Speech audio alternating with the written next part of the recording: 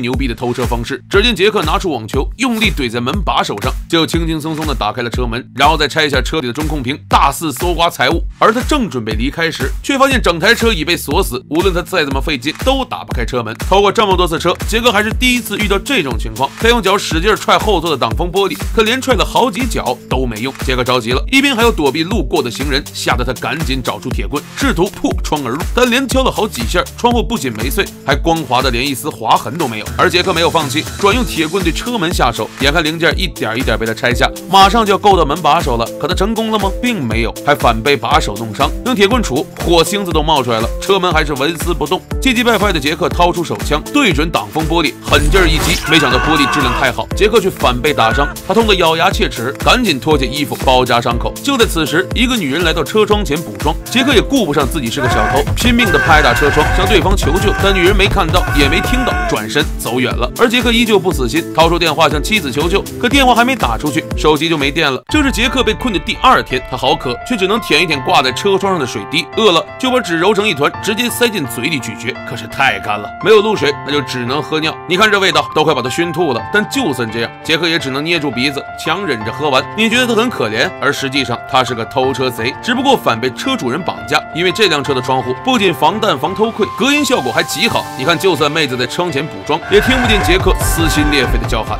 而就在他绝望时，车主人打来了电话，原来他的车已经被偷了二十九次，而每次报警都没用。于是忍无可忍的他设计了这个密室，要为自己讨回公道。说完，他直接把车内的冷气调到最低，冻得杰克瑟瑟发抖。于是不得不解开绑在大腿上的衣服穿在身上，然后再用纸堵住出风口。可这并没有什么用。一夜过去，杰克被冻得嘴唇发紫，连呼吸都能哈出白气。就在这时，车主打来了电话，可却不是要放过杰克，在骗出他的身份信息后，才给了他藏在后备箱里的水。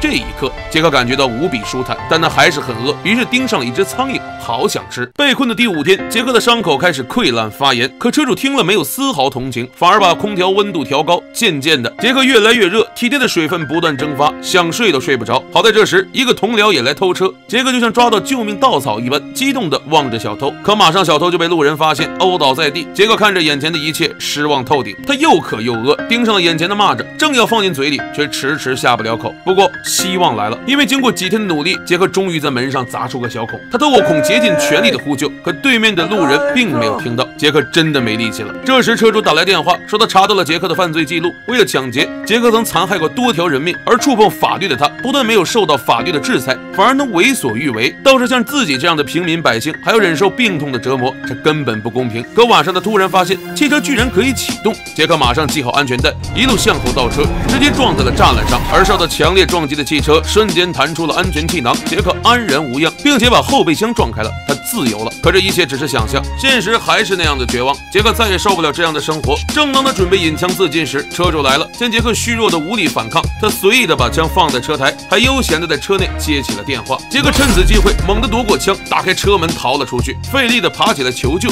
甚至是开枪引起注意。可还没走多远，他就被车主抓住，直接摁倒在地上。这时一个女警恰好路过，他劝车主放了杰克，但车主不听。很快的，围观的群众越来越多，谈判专家也赶到了现场。他告诉车主，这些罪犯是很可恶，但就算你杀杀了他，也改变不了什么，甚至你也会成为自己最讨厌的人。一番洗脑后，车主冷静下来，他放了杰克，然后坐进了车里。为了维护心中的正义，车主最终选择牺牲自己，同时他的牺牲也警醒着我们关注社会治安。最后，杰克进了监狱，或许他再也不会为恶，但这醒悟的。